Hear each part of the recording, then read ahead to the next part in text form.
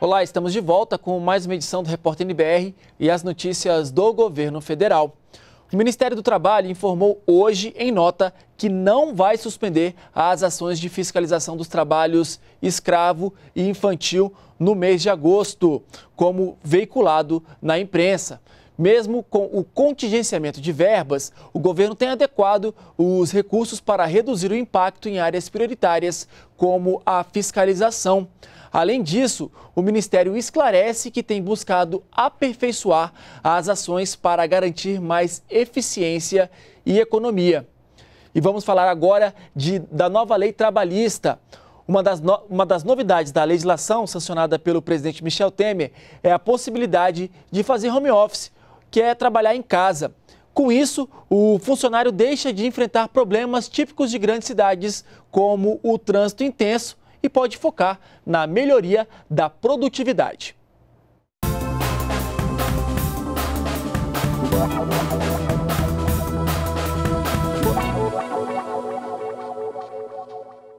São duas da tarde de um dia de semana e Cristiane Lourenço não está no escritório da empresa onde é gerente de sustentabilidade e parcerias.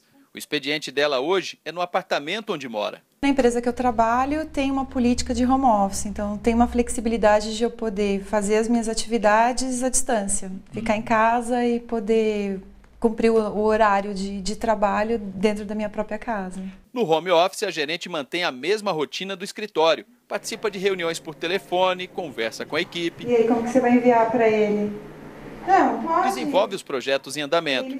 O ritmo é intenso, mas a comodidade de não ter de enfrentar, por exemplo, o trânsito de uma metrópole como São Paulo é uma das recompensas desse modelo de trabalho, na opinião dela. Primeiro, pela eficiência que você ganha, então realmente foca no que é necessário, não tem interrupções do dia a dia do escritório, e pelo que você ganha também de qualidade de vida. Então, Moro em São Paulo, no mínimo duas horas no dia eu estou ganhando quando eu fico trabalhando de casa. A Cristiane só tem essa possibilidade porque a empresa em que ela trabalha, uma multinacional alemã, adotou há seis anos esse modelo. E hoje, 1.500 funcionários da companhia fazem home office uma vez por semana. O diretor de operações de RH e relações trabalhistas da multinacional explica que para adotar esse sistema de trabalho, primeiro foi feito um piloto com os executivos da companhia. Um dos pontos analisados pela empresa sempre foi a questão legal do trabalho remoto. O propósito, é, a, ideia que está por trás era algo que é, a gente já esperava e aguardava há muito tempo, né? Ter uma possibilidade maior de diretamente com os colaboradores é, definir as condições que são mais favoráveis, quer dizer, tendo mais flexibilidade, obviamente com garantias fundamentais é, para a relação de trabalho. O home office ou teletrabalho, como é definido pela legislação, foi um dos itens legalizados pela modernização das leis trabalhistas, proposta pelo governo, aprovada pelo Congresso e sancionada pelo presidente Michel Temer. Este modelo tem como característica a prestação de serviço fora das dependências de uma empresa com o uso de tecnologias de informação e comunicação que não constituam trabalho externo.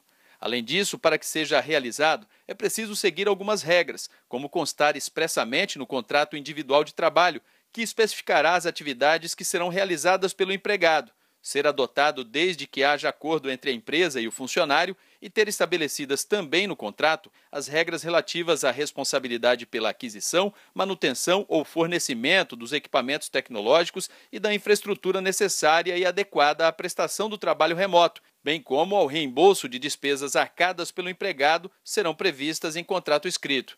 A empresa também deverá instruir os empregados de maneira expressa quanto aos cuidados a tomar para evitar doenças e acidentes de trabalho.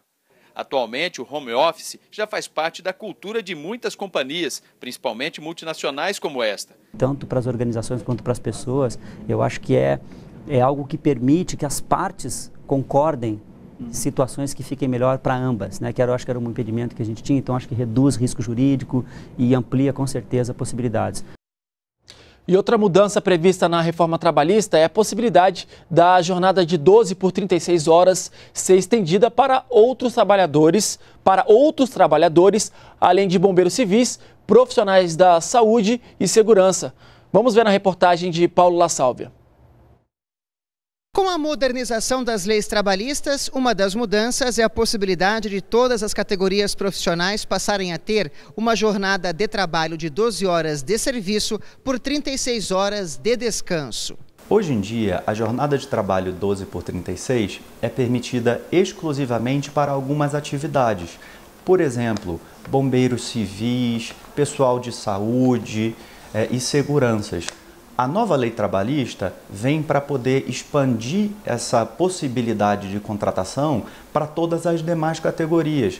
Lembrando, a jornada 12 por 36 já é aceita pela jurisprudência e pelo Tribunal Superior do Trabalho como mais benéfica ao trabalhador. Agora, este modelo de contratação poderá ser firmado por contrato individual entre patrão e empregado, além de acordos coletivos. Neste tipo de contratação, o limite é de 48 horas por semana, respeitado o descanso semanal. E por mês, o máximo é uma jornada de 180 horas. O vigilante Jean Pereira de Moraes, que trabalha numa empresa de segurança com mais de 20 anos no mercado de Brasília, aprova o modelo. Um dia eu estou de plantão, o outro estou em casa, cuido da minha filha, né? E é, os afazeres também, num, num banco, o dia está de folga. E eu trabalho em outro emprego também, outra renda, né? Aí, para mim, mais viável a escala 12 por 36. A gerente comercial da empresa defende que seria inviável seguir outro tipo de contrato de trabalho. Imagina se nós tivéssemos um período menor, uma carga horária menor, como que seria a logística de funcionários? Seriam mais funcionários, mais gasto para a empresa e logisticamente seria inviável. A possibilidade de extensão da jornada de 12 horas de serviço por 36 horas de descanso para todo o mercado de trabalho está entre as mais de 100 mudanças na consolidação das leis trabalhistas trabalhistas, que é de 1943 e reúne os direitos e deveres de empregados e patrões no país. Mas, mesmo com todas essas alterações, os direitos fundamentais do trabalhador estão preservados. Os direitos fundamentais do trabalhador, na verdade, eles constam no artigo 7 da Constituição Federal. Então, como a modernização da legislação trabalhista é uma mudança de uma lei ordinária, não é uma mudança constitucional, é, ela não altera em nada, em absolutamente nada, todos os direitos protetivos que estão na Constituição e que são repetidos e explicados, detalhados na CLT.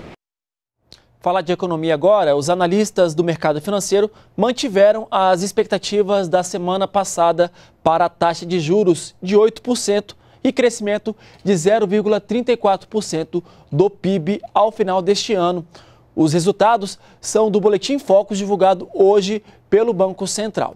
De acordo com os economistas, a previsão de, inflação para este ano é de 3,33%. Esse percentual está acima da estimativa da semana anterior, mas abaixo do centro da meta de inflação estipulada pelo governo para este ano, de 4,5%. E o Repórter NBR fica por aqui. Voltamos a qualquer momento com outras informações ou em uma hora na nossa próxima edição. Você pode rever as reportagens no YouTube e toda a programação está disponível na nossa página na internet. Continue com a gente aqui na NBR, a TV do Governo Federal.